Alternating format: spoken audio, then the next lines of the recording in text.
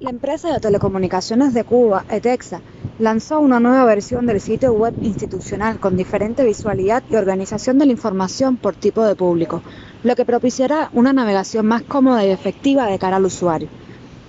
Este sitio incluye opciones para el contacto de los clientes e incorpora funcionalidades para la gestión de los servicios en línea desde el territorio nacional, a través de los cuales podrá consultar y pagar la factura telefónica.